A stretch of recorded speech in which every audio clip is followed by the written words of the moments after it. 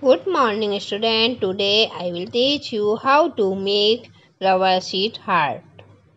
So let's start.